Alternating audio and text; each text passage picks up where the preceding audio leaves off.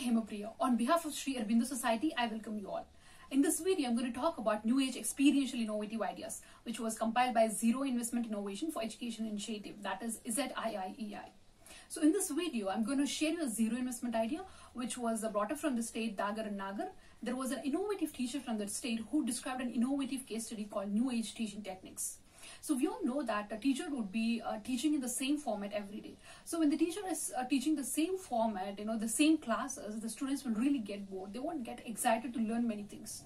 So it's the teacher's responsibility to change their uh, teaching methodologies each and every day so that uh, the students will really get engaged in those activities or that activity should be that teaching techniques should be an activity based learning outcome so that all students will really remember what they had been learned. Not uh, not only the perspective of examination but they'll remember everything till their lifetime.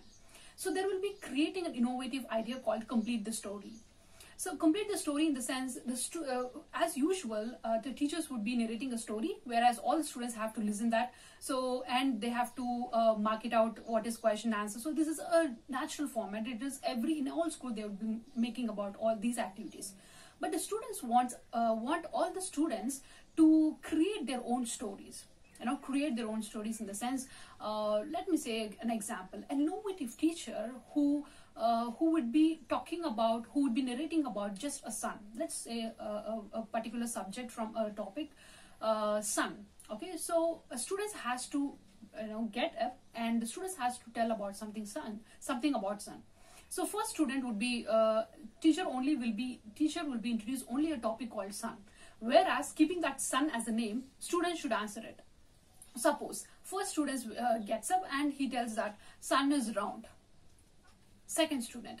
Yes sun is round. Sun would be uh, you know uh, rising at that east and sets up at the west. This is how the second sentence is. Third thing sun revolves around the earth. So sun is sun is in the round format. Sun revolves around the earth.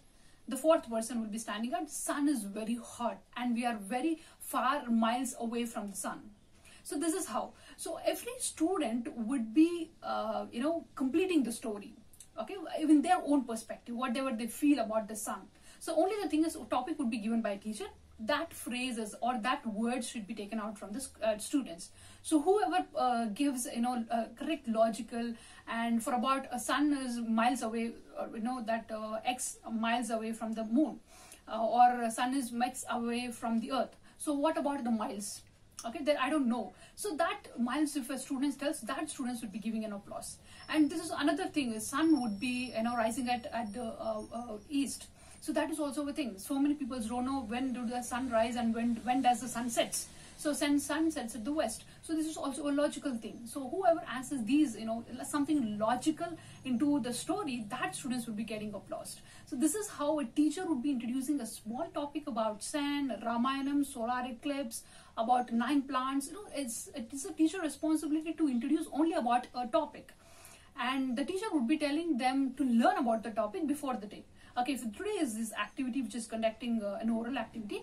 Uh, the day before today teacher would be telling it. So this is how you can also make implement uh, innovate uh, i mean you can also implement these innovative ideas in your classroom.